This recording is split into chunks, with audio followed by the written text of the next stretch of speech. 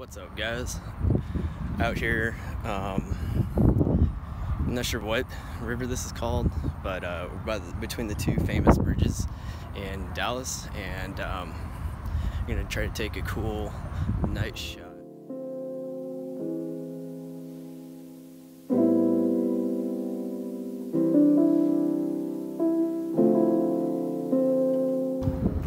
The one thing about shooting right now is not a lot of light, so you can't really see where you're setting up or anything like that.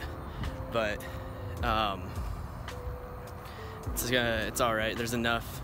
Uh, another thing is all the bugs and mosquitoes out right now, so it's not too bad. But you know,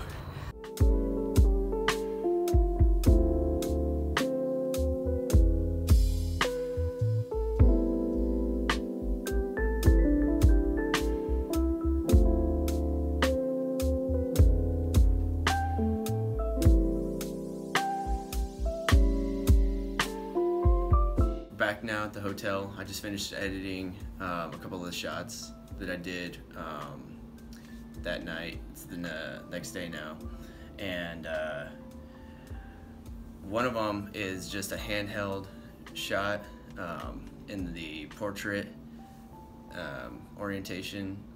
Uh, let me tell you, it's really hard to shoot handheld um, and nightscapes like this. Um, but I like the composition and everything.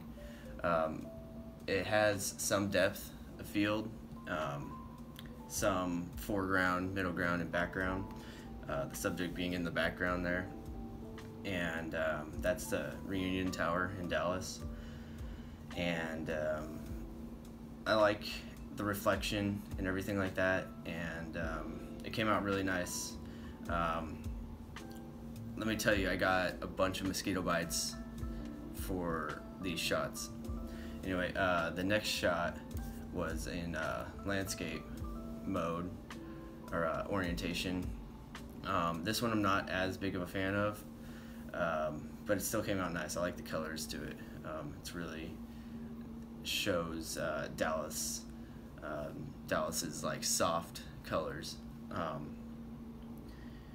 Anyway, this the the reason that I wasn't a particular um, I, I didn't like this one as much as the other one was because there wasn't as much depth to it. Yes, I had the foreground and everything like that with the grass, but you can't really tell um, that the grass is closer um, as opposed to um, the tower being further away and everything. Um, it looks kind of flat, and so that's something I'm going to be working on in the future. So, anyways, I had fun doing it.